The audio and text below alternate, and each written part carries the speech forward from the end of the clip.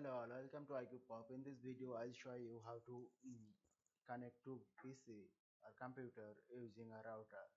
So for this thing, first of all, I need to take two PC, PC 0 and PC 1 and another is one router. So I've taken them, now connect them. I'm connecting them using cross cable okay? Yeah.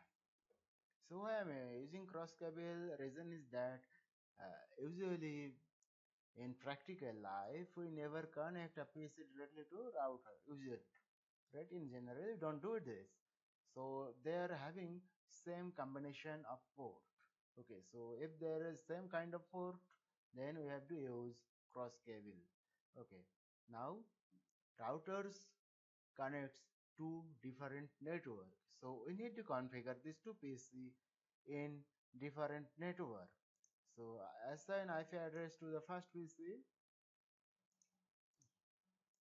so 192.168.1.1 i'm assigning here. Subnet mask 255.255.255.0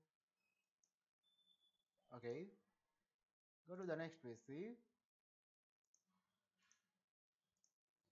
192.168.2.1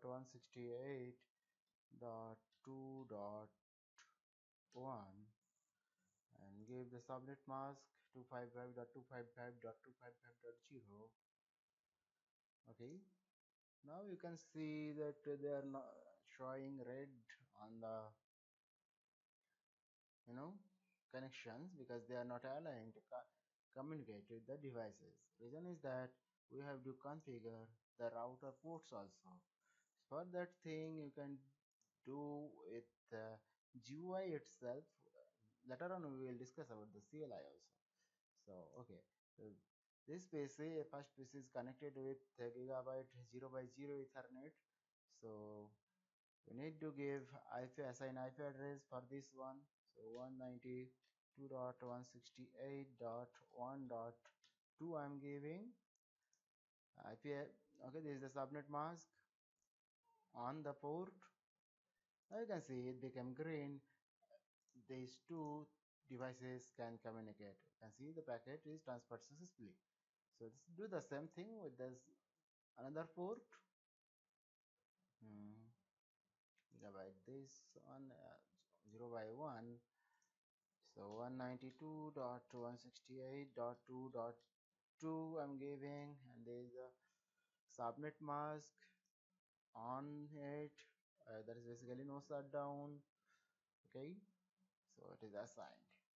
Now we can see that packet from this pc to router is transferred successfully. But if we want transfer packet from this pc to this pc uh, failed. So what do we need? We need to assign default gateway for the two pc the default gateway is the port number to which the PC is connected to the router. So IP of that port number. Okay, so I have given IP of that port number and this PC is connected with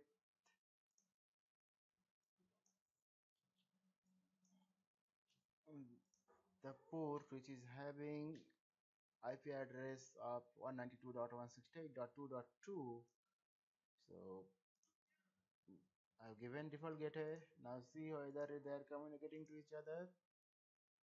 Yes they are communicating right? So we have successfully connected to PC using a router. Thank you for watching. Please subscribe my channel